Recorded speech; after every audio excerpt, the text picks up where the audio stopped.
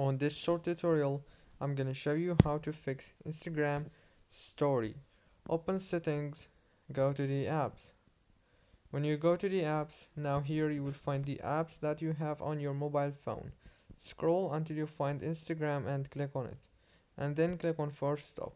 When you click on force stop, now go into the permissions, enable every single permission right here. Go back and click on this power usage details. Make sure that the power consumption alert is enabled and click down here on force stop again. Go back, click on storage or the internal storage right here. Click on clear data and click on delete. Now the problem must be solved. If it's not, this means that you have problem in the network that you are connected to.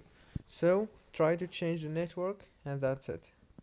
Don't forget to like and subscribe and thank you very much for watching this tutorial.